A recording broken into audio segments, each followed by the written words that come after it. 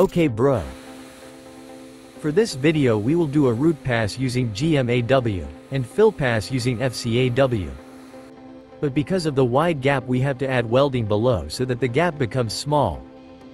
And we can make a perfect penetration, the process we refer to the video until it is finished. So that it does not misunderstand, hopefully useful for you.